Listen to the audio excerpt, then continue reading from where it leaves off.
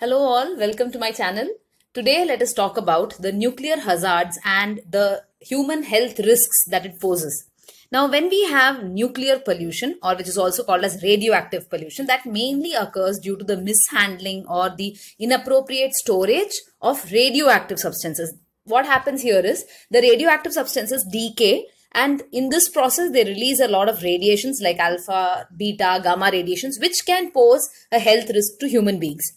The problem with this type of pollution, with the radioactive pollution, is that you can't see the pollutants, you can't smell the pollutants, and neither can you touch the pollutants. So it's very difficult to understand whether there has been a leakage, whether there has been pollution by radioactive substances until you start seeing the symptoms or you start seeing the effects of it. Now, there are many, many sources of nuclear hazards. There are a lot of uh, places where there can be a leakage of the radioactive material. We do have natural sources as well. For example, the cosmic rays from outer space do bring in a small amount of radioactive substances. We also have radioactive materials in the Earth's crust which are radiated outwards and which can add to the radioactive load on Earth. However, the man-made causes are more important over here because they these causes release radioactive substances in huge quantities and huge volumes. The first source, the major source of nuclear hazards and radioactive substances is the nuclear power plant. Now, nuclear power plants contain, a, you know, they regularly process a lot of nuclear material. They regularly pro process a lot of radioactive substances. So this includes the the radioactive uh, substances being brought in during the transportation, when there is waste that is produced after the radioactive substance has been used, all of these activities in a nuclear power plant are extremely risky and we need to take utmost care. Now, what I have shown you here are two major disasters, nuclear energy accidents in the world, which are rated at 7. 7 is the maximum severity on the international nuclear event scale. The first one I've shown you here is the Chernobyl disaster, which was which happened in the Chernobyl nuclear power plant in North Ukraine in 1986. And at that time, it was part of the USSR. Here, what we have see, I have shown you here is much more recent. That is the Fukushima nuclear disaster in March 2011, which happened in Japan.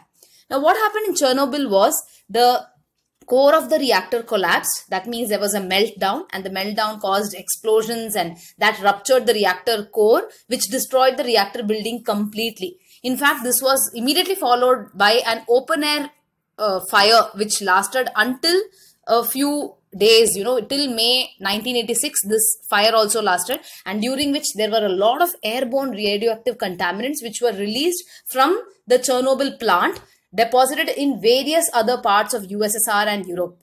In fact, there has been deaths not only due to explosion and skin burns, we have seen that in many areas around the USSR, around that Chernobyl area of Ukraine, there have been increased childhood thyroid cancer deaths. There has been dysfunctional bone marrow and in fact, the complete cleanup is not yet done. Cleanup is scheduled for completion by 2065 for a disaster which happened in 1986. So you can imagine the scale of this disaster.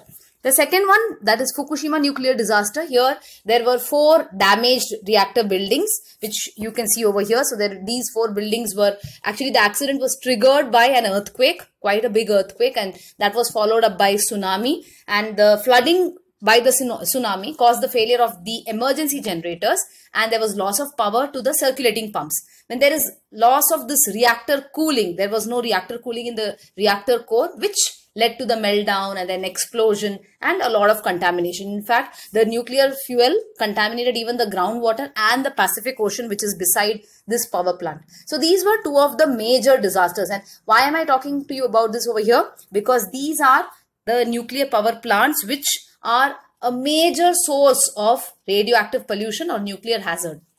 The second one is the use of nuclear weapons. So we know about this. We know about the bombing of uh, Hiroshima and Nagasaki in 1945, which had caused a lot of brain damage in fetus, in the unborn children. It led to low IQ in the children. It led to mental retardation. Even now, people in those areas are suffering. Not only that, even when we test the nuclear weapons, it's not just during a war, even when we do the testing of nuclear weapons, if appropriate measures are not taken, that can lead to a lot of nuclear hazards. It can lead to release of the radioactive contaminants into the environment. We also have radioactive pollution risk when there is mining of uranium. That is when the uranium is being taken up from the ground. If the precautionary measures aren't taken, then that can lead to exposure of the people working over there to uranium, which is again a radioactive element that can cause a risk or it can cause a hazard. Lastly, during the disposal of nuclear waste, now, this disposal of nuclear nuclear waste not only comes from the nuclear power plants, it can also come from the research waste or from the mining waste. So, whenever there is transportation, whenever we are trying to dispose it off by burying it under the land or under the sea, at that time, a lot of radiation can be released, which can pose a health risk. So, what are the health risks that it poses? The first impact you can say or the first risk to human beings is the risk of mutation and DNA damage. So radiation is known to cause a variety of mutations and mutations are unpredictable. These are changes which happen in our DNA and you really can't predict what way they'll go, what will be the mutation. So mutation and DNA damage are permanent, they are hereditary, so you can pass it on to your next generation as well. These are the, this is one of the major health risks caused by radiation. Next, we have seen that it does affect exposure to long-term radiation, chronic exposure for a long period of time does affect the reproductive ability of a human being. It also is known to cause or trigger cancer. It causes immune damage. So it weakens the immune system. It causes premature aging. There have been, it has been seen that it causes bone marrow disorders and, you know, reduced blood cells. And when your blood cells are reduced, automatically your natural resistance to diseases is decreased. That's why it also causes immune damage and in many cases high doses of radiation can be fatal. It can lead to death of the individual. Now the major control measures for these are to curb the leakages or to control the leakages from nuclear reactors from their careless handling during the transport, during the use of radioactive fuels, when there are fission products being formed, when the isotopes are being used, all of these have to be really carefully controlled. You have to control the leakages. You have to make sure that there are safety measures which are enforced strictly. See, the safety measures are already there, but the enforcement is what has to be taken care over here. We have to make sure that the safety measures are enforced despite the cost that is involved in it, whatever are the troubles that it, we have to go through, we need to make sure that safety measures are enforced. The waste disposal has to be extremely careful, it has to be effective and efficient. Not only that, there has to be regular monitoring. We have to have quantitative analysis by frequently sampling all the risk areas wherever there is a risk of pollution we need to keep sure make sure that we keep sampling that region so that the pollution is checked early. Appropriate steps have to be taken against occupational exposure. Now, people who are working in areas that have high radiation levels, we need to make sure that safety measures are taken so that you know safety measures are strengthened so that each and every one of them is prevented from the occupational exposure and thus we can curb the nuclear hazards and the radioactive pollution. So this was about the various causes or the sources of nuclear hazards, the health risks that it poses, and some of the important control measures. I hope it was useful to all of you. See you all in the next video as well. Thank you.